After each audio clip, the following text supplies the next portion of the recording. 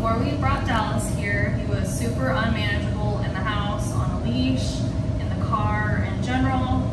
Uh, when I even brought him through the front doors the very first day, there were claw marks on the ground because he was just trying to get away and go see everything. And now he, I don't want to say he's calmer, but he is calmer and he's more manageable. He is controlled more.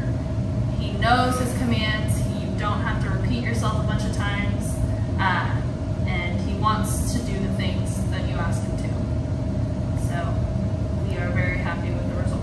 there.